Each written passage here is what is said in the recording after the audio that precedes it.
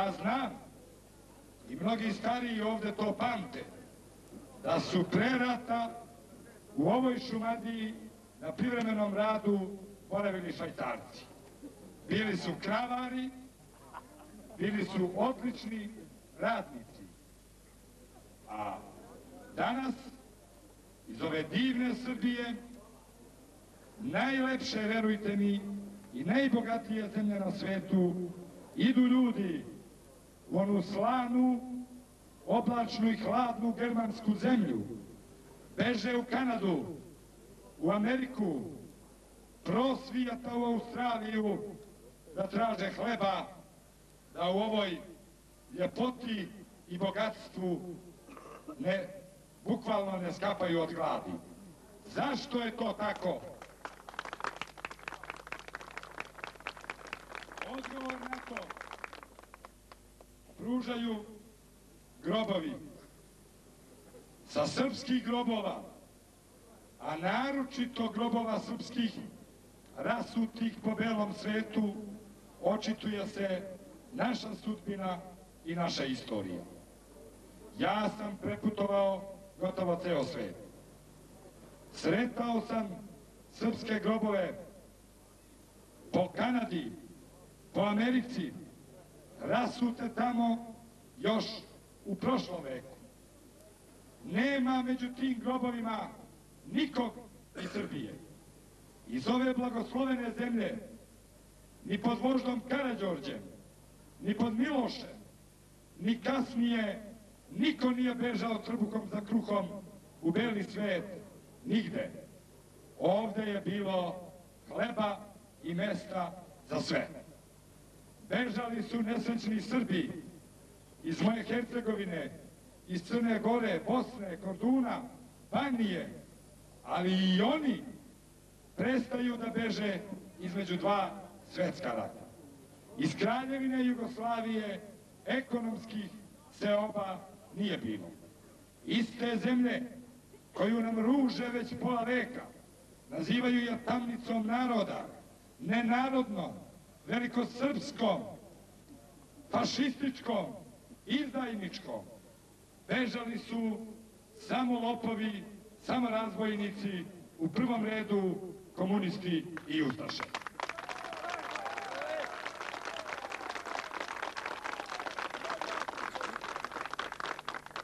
Grobovi srpski po belom svetu rasuti kažu nam da je 45.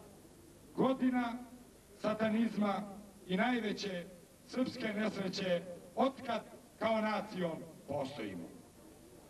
Od te godine po Nemačkoj, Švajcarskoj, Engleskoj, Francuskoj, Kanadi, Americi, Australiji, čak i Južnoj Africi gde sam boravio, sreću se srpski grobovi i srpsko raseljanje.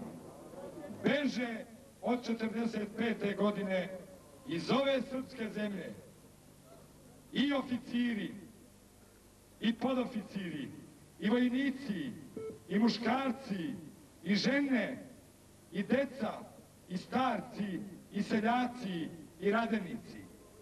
Grobovi kažu da se te godine ovde slučilo nešto, kataklizma neka, pa je ceo narod krenuo u bekstvo. Od čega?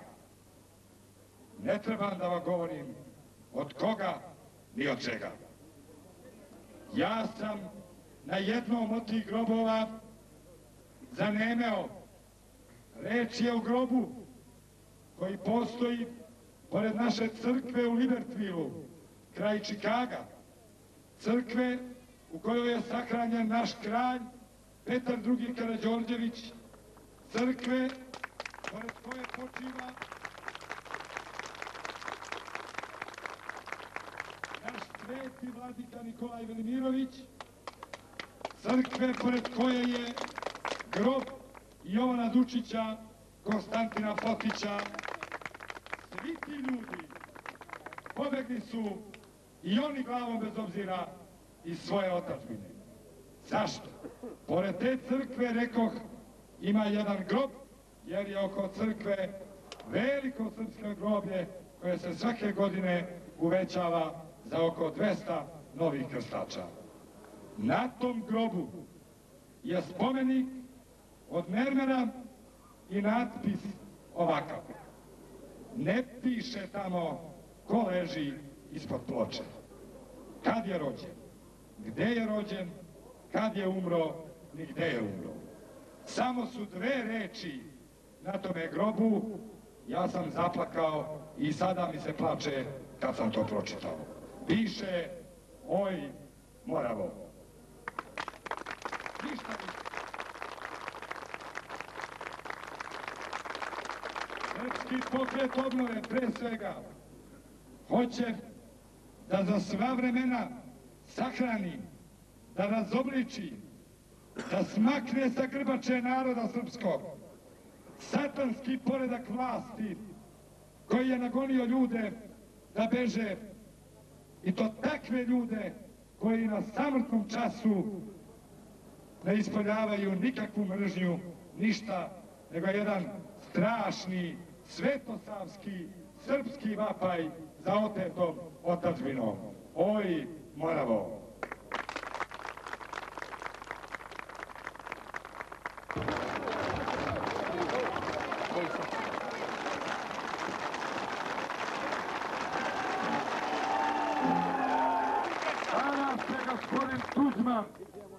Ako misli ono što je rekao, dajmo Srbima demokratiju, političke stranke, pa će se oni poklati između sebe. Srpski pokret obnove je jedina integra, stranka integralnog srpstva. Mi nismo samo stranka Srba u Srbiji, mi smo stranka Srba svuda gde Srbi žive, ne samo u Jugoslaviji današnjoj, nego u čitavom svijetu.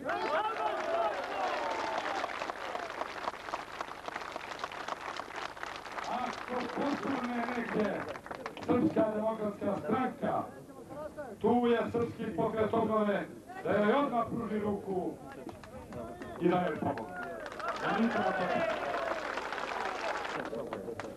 Što se tiče naših komšija muslimana, molim vas, sa njima održavajte komšijske odnose, negujte i poštujte u svemu svetosavsku našu tradiciju. Mi smo narod jedne krvi, jednoga jezika, jednoga semena. Zle istorijske okolnosti su nas dijelile, a najveće zlo koje se sručilo na narod Herceg Bosne, bilo pravoslavne, bilo muslimanske vjere, desilo se 41. godine i došlo je, braćo i sestre, samo iz Zagreba, samo iz Vatikana. Ja sam pisac genocida nad srpskim narodom. Ja raspolažem dokumentima. Istorija raspolaže tim dokumentima.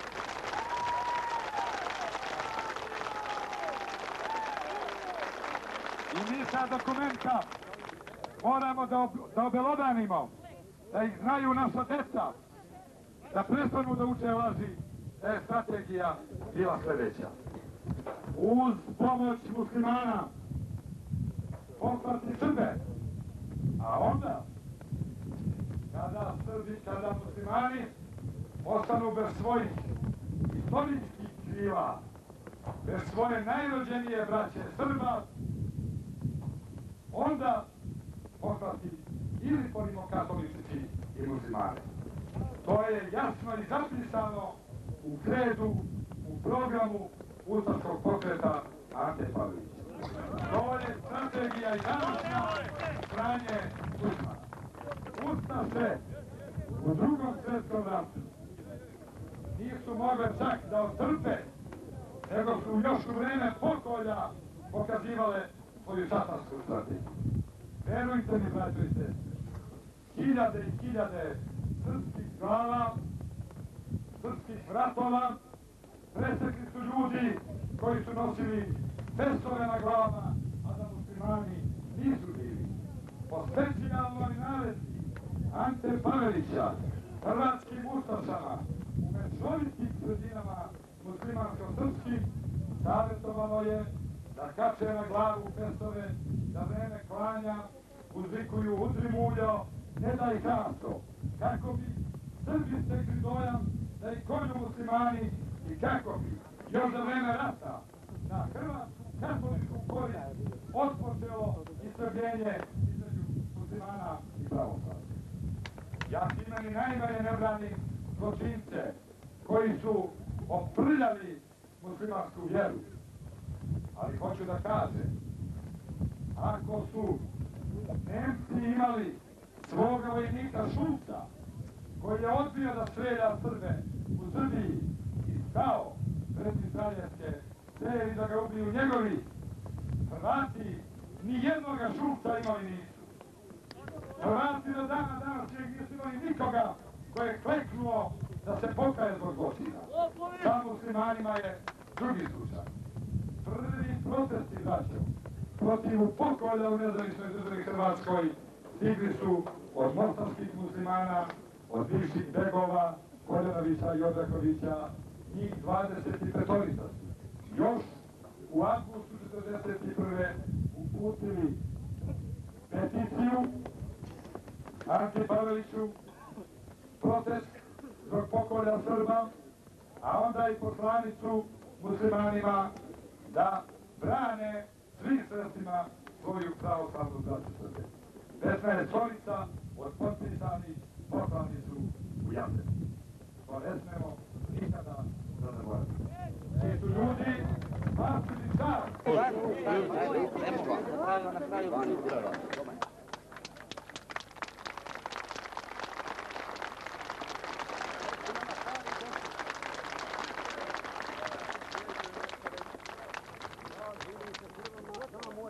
brate, kako beš ime? Islam.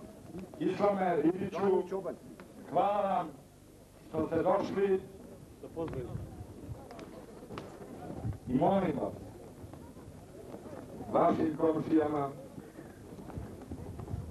vašim sampromenicima, prenosite poruku ljubavi pre svega, mira, da više nikad ne dozvolimo da nas oni koji ne žele dobro ni vama ni vama ne zavađaju i ne upućuju da se u njihovu korist i za njihov račun tamanimo između sebe i da se mrzimo. Slavu, Gospodina, da vas zadovi i da vas pobjedi.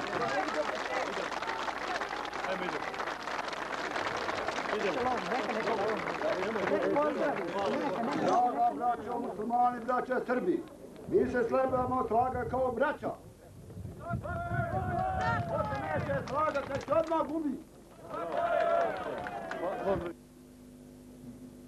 I molim vas, shvatite da govorim iz duše.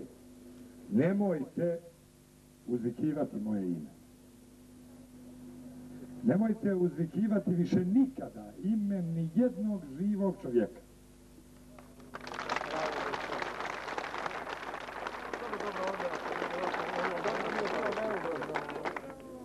Ja sam slučajno i privremeno na čelu najjače stranke u srpskom narodu. Slučajno sam, kažem, predsjednik.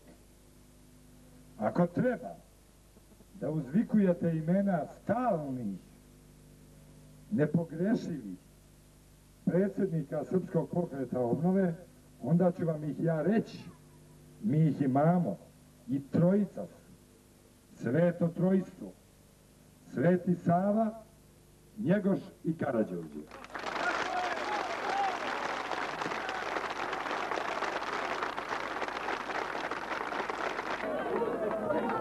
Draga braćo i sestre, kada je 1925. godine obnavljana Njegoševa kapela na Lovćenu, onda je vladika Nikolaj ovim rečima na početku samom obratio se njegovom veličanstvu kralju Aleksandru. Nalazimo se na krovu otačbine, na kolena vaše veličanstvo. Iz bilja lovčen je krov, nebo srpske otadžbine, a ovo mesto na kojemu stojimo i na kojemu održavamo danas njino sabor, temelj je srpske vere, srpske nacije.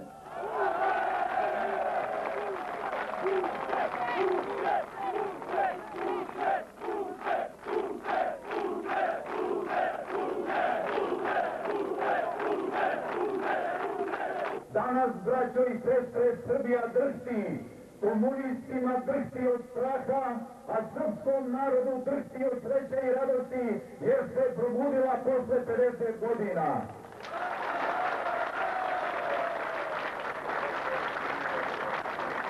Srpski pokret obnove, koji nije samo politička stranka, nego hoćemo da bude ovaploćenje narodne volje svekolikoga srpstva, ne želi da povede svoju decu u oganj i krv, nego želi da ih povede u slavu.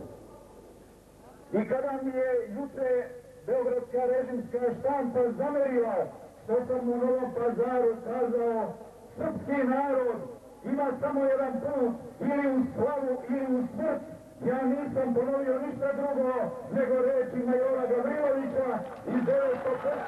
godine.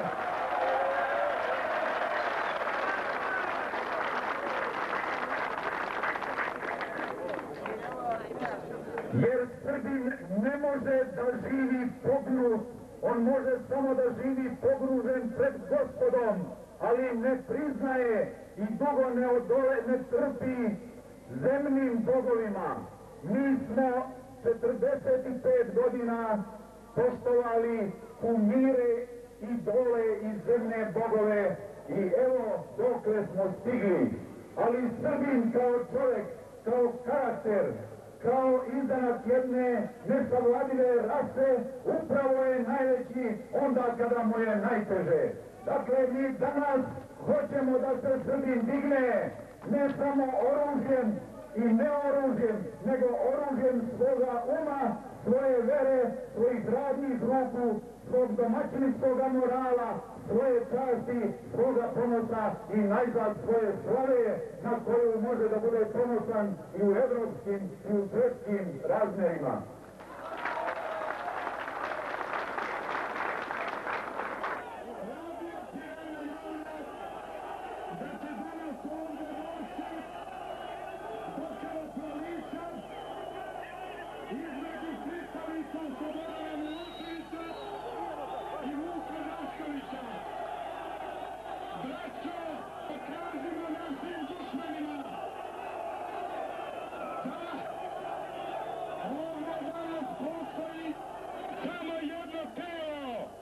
jedna duša i da smo mi svi pristalice naše majke Srbije.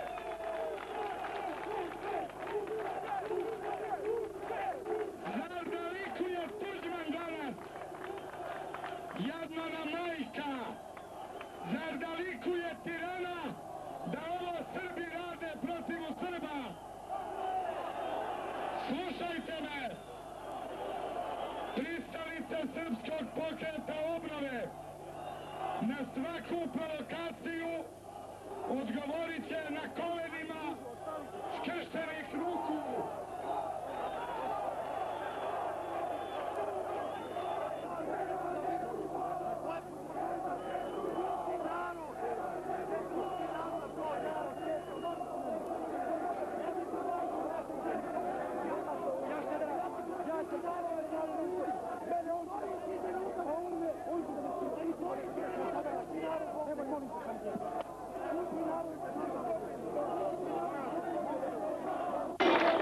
Braćo i sestre, mi vas pozdravljamo. Videli ste svi, videli su novinari, videlo je celo srpstvo. Ko ide na Srbe danas, ko zalaza Srbe, prokleta mu duša i tijelo, rđom kapo da kuja do veka.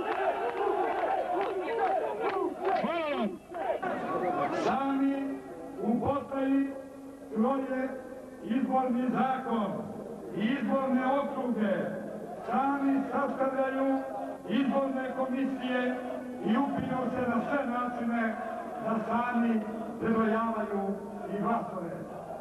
Predsjedniku Republike daju se ovlašćenja apsolutnog monarha.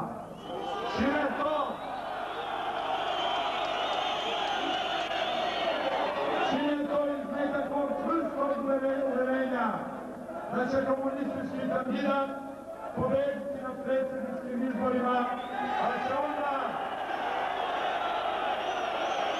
pa će onda eventualnu poredu opozicije u parlamentu svojom neograničenom vlašću, kakve danas nema nijedan šef države u Evropi učiniti besmislenom. Legalizuju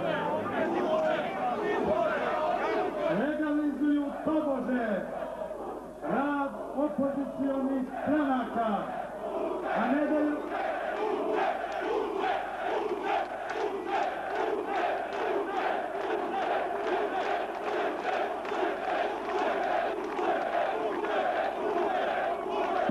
tobože legalizuju rad opozicijalnih stranaka, a ne daju prostorije, ne daju pare za izbornu kampanju, ne daju nam prostor u štampi, najružniji pristup u televiziji, da bismo predstavili svoje stranačke programe.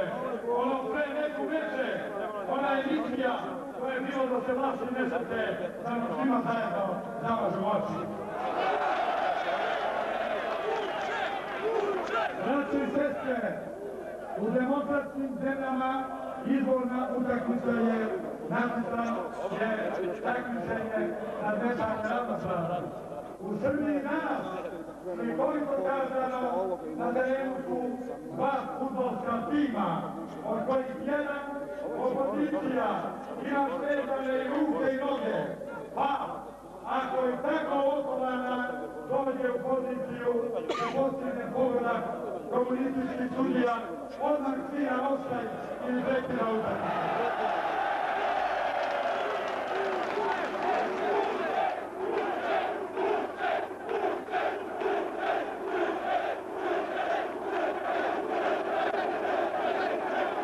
Ako ništa drugo, čast nalaže srpskim socijalistima da, ali šta ja to govorim, da Dostojevski još ne reče da taj stoj ljudi, taj način mišljenja čast ne priznaje i suvereno ne prezime i odbacuje.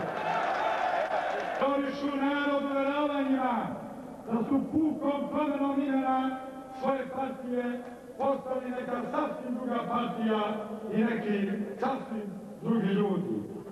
Jedino predsjednik te takozvane socijalističke partije pošteno priznaje da nema ni zbora o nikakvom novom vinu, novom vinu u mešinom stadiu.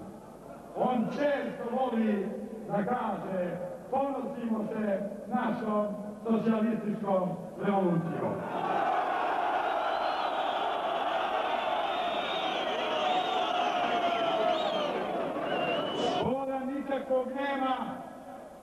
Promjena imena, samo je ustupak formi da bi se sačuvala suština. Lepo reče drug Lenin, mi ćemo iskoristiti svaku podvalu i svako ukazko. Višestranački izbori u Srbiji još evo nisu ni raspisani, a usuđujem se reći, verujem odnekud da takozvani socijalisti su već napunili stotine glasačkih kutija koje će na dan izbora izvući odnekud iz znaka i prikazati kao volju naroda.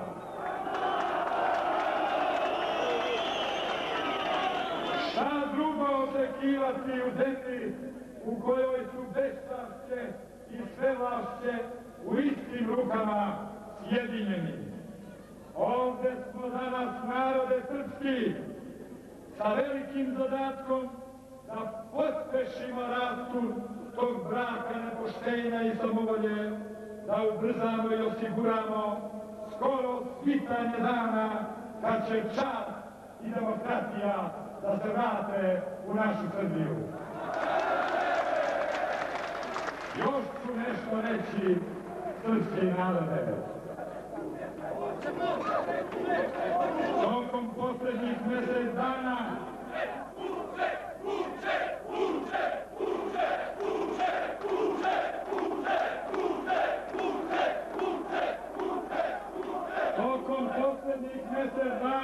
Braća i sestre, posetio sam sa srpskim pokretom obnove mnoga mesta srpskog pakla izvan današnje Srbije. Bili smo u Hercegovini, bili smo u Foči, Bosanskoj krajini, na Kordunu. U Foči je tamošnja policija na naše oči prebijala ljude, trudne devojke, decu, starce u invalidskim kolicima ispod police uz psovanje srpske majke. Iako 50 puta slabiji, ustali smo u odbranu svog naroda i u odbranu zastave kod kojoj nastupamo. Na kupresu smo ili na ratnom položaju, naspram naoružanih ustaša, da bismo omogućili Srbima iz sela Vukovskog da izvuku iz njama svoje rođene u jame bačene pre pola veka i da ih islamske sahrane.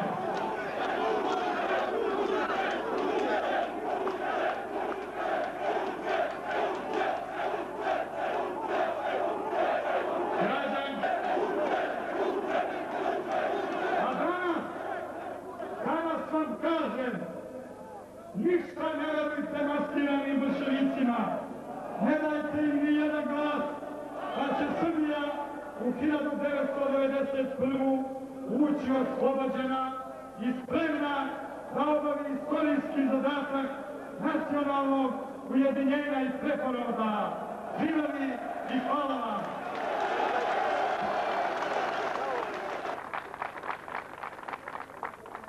Srpski pokret obnove po pitanju Kosova zalaže se za sljedeće stvari. Kada dođe na vlast, odmah će dati nalog da se oko šiptarskih kuća poruše svi bedemi, puškarnice i svim šiptarima oduzme oružje.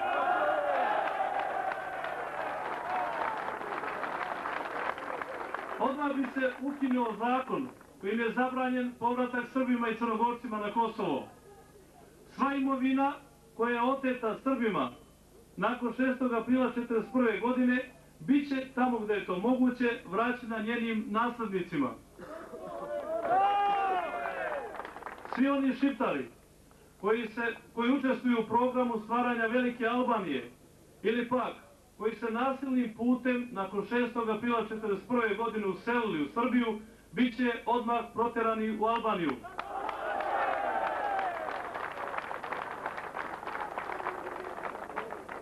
raskinuti diplomatske odnose sa Albanijom, kao i sa svim islamskim zemljama koje propovedaju sveti rat džihad.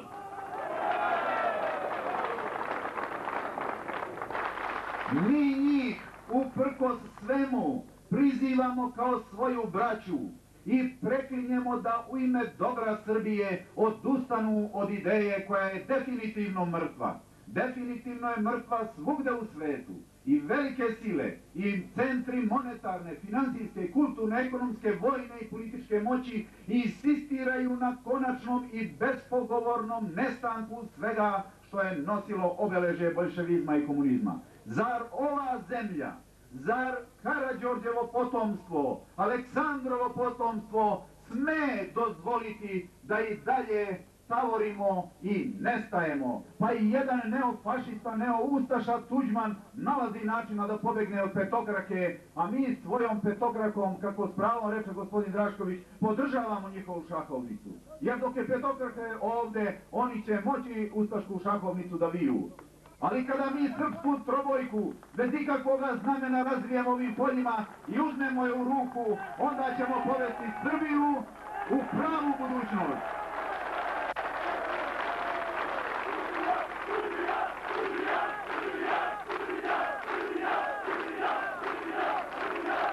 Ljudi nikada nisu odisale takvim samopouzdanjem i takvom spremnošću za samožrtvovanje s verom izreku s kraljem, za, za kralja i za otečestvo.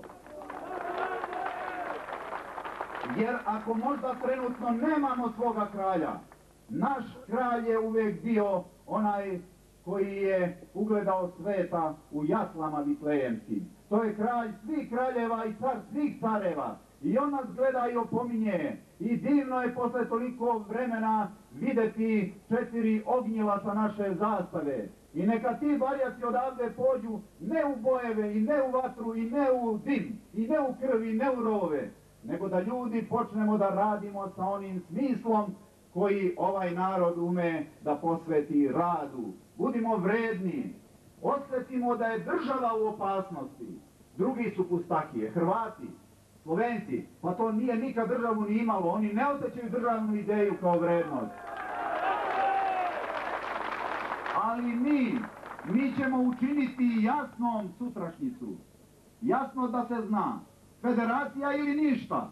A u federaciji srpska država u sasvim novom obliku i sa mnogo većim ličnim ugledom u zajednici naroda Evrope. Bez toga nam nema sutrašnjice. Srpski narod ima da bude po meri naših predaka ili on nema prava da nosi ime veliko i sveto ime srpsko i svetosavsko i Karađorđevo.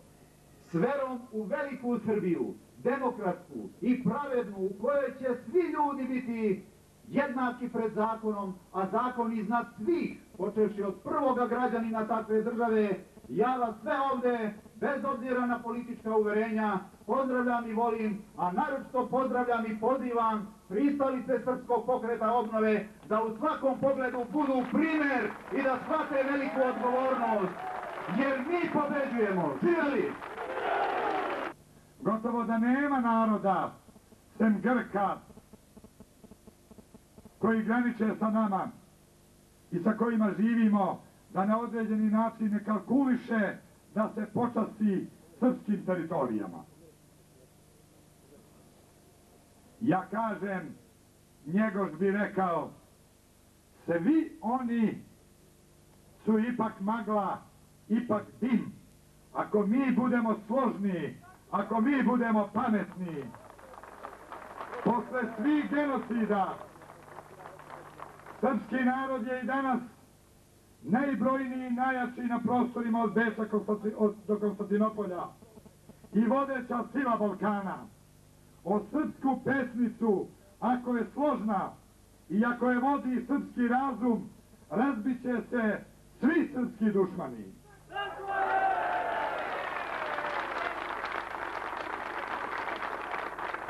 Car Lazar je u oči boja na Kosovu nazdravio, ako se sećate, po lepoti, po visini, po milosti, po dobroti, po starosti, po gospodstvu, po junaštvu, ali je samo jedan pehar zaboravio da podigne.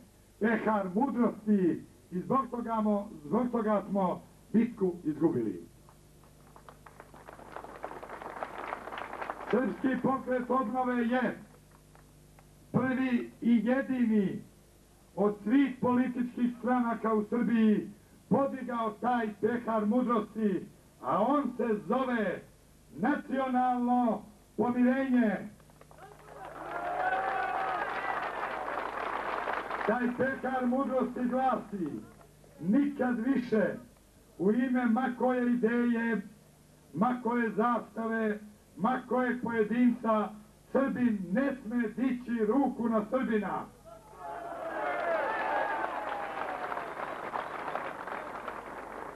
Mi kažemo, ne postoje političke stranke u Srbiji da bismo se između sebe svađali, da bismo se mrzeli, da bismo dizali ruke, noževe i bajunete jedni na druge. Političke stranke u Srbiji postoje da bismo se nadmetali časno, viteški, u programima, u idejama za dobrobit Srbije, a da Srbija i srpski narod se odlučuju između raznih programa. Ja sam pre dva dana kao predsjednik Srpskog pokreta obnove uputio pismo gospodinu Slobodanu Miloševiću kao predsjedniku Socijalističke partije Srbije pozvao njega ili nekog ko će da ga odmeni da izvole u Valjevo sutra da na istom mestu, za istim stolom predstavimo svoje programe mi, Srpski pokret obnove i oni, Socijalistička partija Srbije. Da odgovaramo zajedno na pitanja građana, pa neka birači, neka ljudi na licu mesta ocene gde je budućnost Srbije.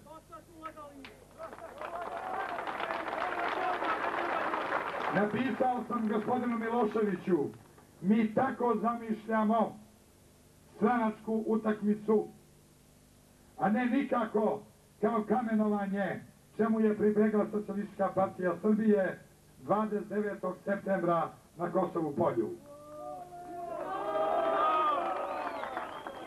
Verujte mi, Srpska reč je objavila faksimil, fotografiju toga letka. Danima su o državnom trošku, besplatno, vozovima, autobusima dovlačili ljude na Kosovo polje uz obrazloženje da će tamo da bude promocija i čestitanje novog ustava. I kad su ti ljudi došli, snabdeli su ih transparentima, kamenicama, revolverima i naredili da padne krv. Da se kamenuju, linčuju pripadnici Srpskog pokreta obnove, odnosno da se razbije Sabor Srba Kosova i Metohije u organizaciji Srpskog pokreta obnove. Član glavnog odbora Socijalističke partije Srbije, gospodin Bogdan Kecman, lično je vitlao kamenjem, pogodio je mnoge, uzgledi mene, išao, pokušavao da se probije na binu sa revolverom i očigledno nije ni krio nameru da treba da mi se skine glava. Ja sam, braćo i sestre, videvši to ludilo, vi o tome niste obavešteni, izdao ovakvu naredbu članovima Srpskog pokreta obnove kojih je bilo dva puta više nego pripadnika Socijalističke partije Srbije.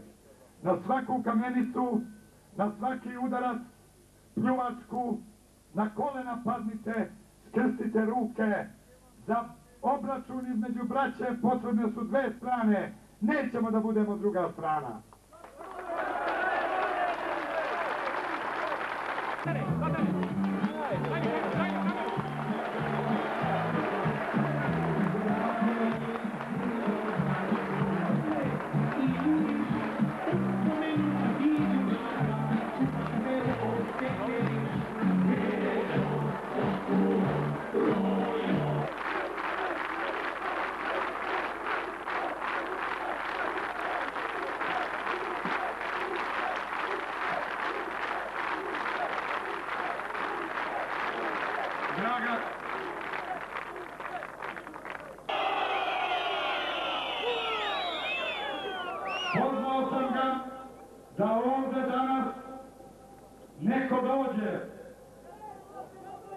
Članova glavnog odbora Socijalističke partije Srbije da vam sa ovog mesta istovremeno predstavimo dva programa Srpskog pokreta obnove Socijalističke partije Srbije da nam postavljate pitanja, da odgovaramo, da vama polažemo račun i da vi odmah odlučite.